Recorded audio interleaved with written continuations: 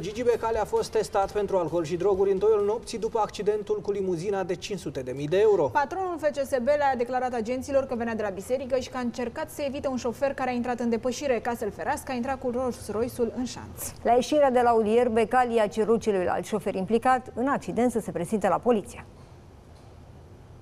Dumneavoastră ați condus Da, mașina, da, ați da. declarat asta deja? Păi da. Ok. Ce, ce le-ați spus uh, polițiștilor acum, de la Le-am po- spus poliția că s-a orașului? întâmplat ce să, eu eram în depășire și cineva a intrat în depășire lateral cu mine, din- probabil nici măcar în punctul mort, adică era exact în lateral, intra în mine. Am făcut stânga, am intrat în șanț, las, o ocoli pe el. Eu am intrat în șanț, omul n-a avut nici măcar puțin obrazul, s-a dus mai departe, n-a oprit. Și acum să vedem că acolo, e din mai acolo e, sunt camere.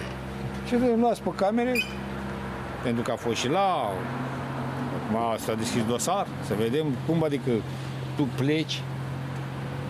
Așa că în drumul ăla care a făcut asta, vede acum la voi, să mă caute, să-și ceară iertare și nu îi mai fac plângere penală. Întrebarea Am așa, făcut ați astea, făcut și teste, am înțeles. Testul drog, testul de alcool, stai seama, cannabis, alea, alea. Da, repede, unde mă?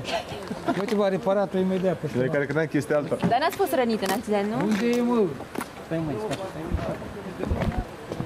A intrat mă mașina în șanț și accident, dacă era, nu a fost nici, n-au sărit nici pneurile astea, airbag-ul de aici. A fost ceva ușor.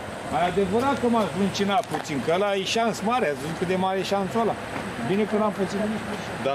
Dar uite, a reparat-o, ia uite. A reparat-o, uite asta. Nu e mă asta, e asta, e alta, e a nu știu. E a lui Gineri, hai, v-am foarte Sănătate, mai bine. Ia-ți-vă dură. Mai bine, fiți sănătoși.